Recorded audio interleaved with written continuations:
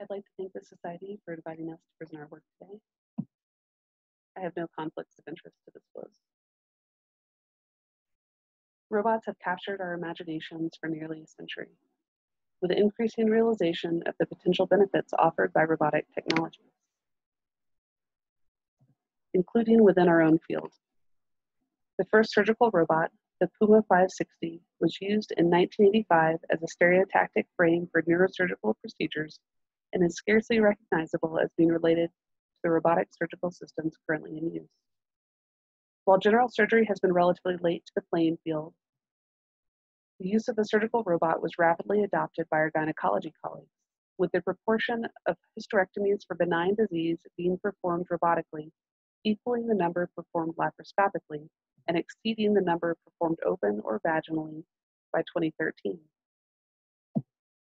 While relatively late adoptees of robotic surgical systems, general surgeons are gaining ground, with an eightfold increase in the proportion of procedures performed robotically between 2012 and 2018. While the benefits of the robot over laparoscopy are increasingly being recognized, we've previously described the risk of inadvertent thermal injury during open and, and laparoscopic surgery due to capacitive coupling, antenna coupling, and hand-to-hand -hand coupling. And while there are numerous proposed benefits of the surgical robot over traditional laparoscopy, there remains a risk of inadvertent thermal injury during robotic surgery. This risk has yet to be characterized. In order to address this question, we retrospectively reviewed the FDA Manufacturer and User Facility Device Experience Database, also known as the FDA MAUDE database, using the quick search function. Our inclusion criteria included events within the last 10 years, between August 2009 and August 2019, that occurred within the OR or procedure room that involved the injury or potential for injury, and that were associated with the use of an energy device.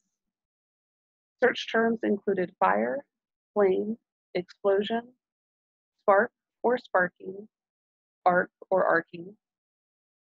The data was extracted and manually coded for the energy source associated with the report, the type of injury, the anatomical site of surgery, and the type of surgery being performed. The data were entered and cleaned in Excel with analysis performed using RStudio Desktop. 233 reports met our inclusion criteria. When looking at the energy type associated with a thermal event, monopolar devices carried the greatest likelihood of being associated with a thermal event, with 51.3% of reports associated with the use of, of a monopolar device. The next most common source of thermal events in the OR were devices external to the patient, such as light sources, OR tables, and electrosurgical units. 13% of reports filed did not include data on the energy source associated with the report. When looking at the type of injury described in the reports, the most common type of injury was a major skin burn that required excision, grafting, or further procedural intervention. This was followed by minor skin burns, which required no further intervention, visceral injury, an injury to the surgeon or the OR staff, and more rarely, major bleeding events that required blood transfusion or conversion to a more invasive procedure. There was a high degree of missingness in this category, with 54% of reports lacking this information. The anatomic site of surgery was most likely to be procedures in the abdomen or pelvis, followed by those in the head and neck, with 38% of reports not including this detail. Reports were most likely filed after open surgical procedures, although 44% of reports did not include data on the type of procedure being performed.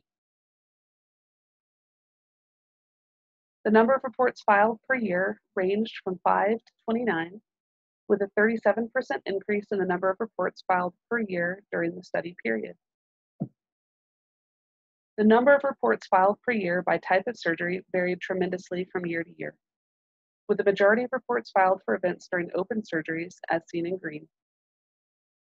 Reports filed for events during robotic surgery, seen here in blue, increased to a peak in 2013 before leveling off between 10 and 15 reports per year for the remainder of the study period.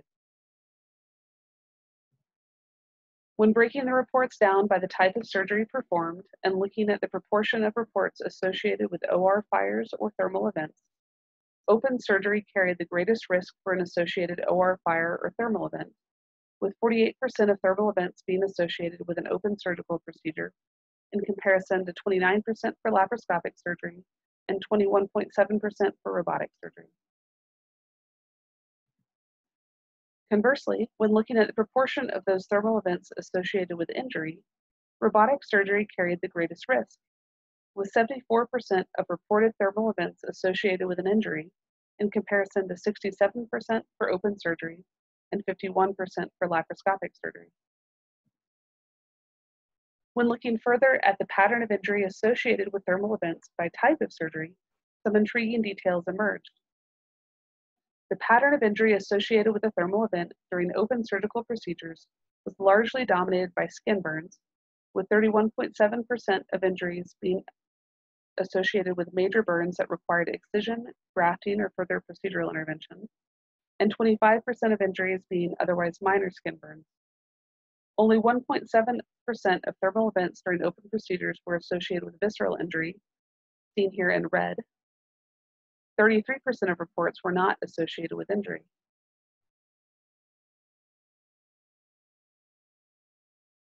The pattern of injury associated with a thermal event during laparoscopic surgical procedures was dominated by injury to the surgeon or the OR staff, largely shocks and burns, accounting for 18.9% of the reports, as well as skin burns, with 13.5% of injuries being major skin burns and 8.1% of injuries being otherwise minor skin burns. 8.1% of thermal events during laparoscopic procedures were associated with visceral injury, again seen in red, compared to the 1.7% we just observed during open surgical procedures. 48.6% of reports were not associated with injury. However, we found a strikingly different pattern of injury associated with reports of thermal events during robotic surgical procedures with 44.4% of reported thermal events being associated with a visceral injury, seen here in red, compared to the 1.7% for open cases and 8.1% for laparoscopic cases. Additionally, 18.5% of reports were associated with a major bleeding event, as seen here in green, defined as those requiring transfusion or conversion to a more invasive procedure. Only 25.9% of reports here were not associated with injury. While this study is limited by a large degree of missing data and an overall low number of reports available for more thorough analysis, we are planning to address this during an ongoing study using the full MAUDE database, as opposed to the data found through the quick search function, to determine if this differential pattern of thermal events and injury is representative of the complete database. The MAUDE database is also a voluntary reporting effort by the FDA, with reports entered by administrators, nurses, industry, doctors, and even patients. This results in a wide range of report quality. Nevertheless, the trends identified herein have important clinical implications that should be understood by the surgeon and the patient when electing to utilize the robot for surgery. In conclusion, Thermal events during robotic surgeries pose a risk to both the patient and the surgical team. Thermal events during robotic surgeries are more likely to be associated with visceral injury or major bleeding compared to those observed during open or laparoscopic surgeries. More information is needed to define both this risk and this etiology, and partnership with industry stakeholders is paramount to understand and mitigate this risk moving forward. I'd like to thank you for your time and attention.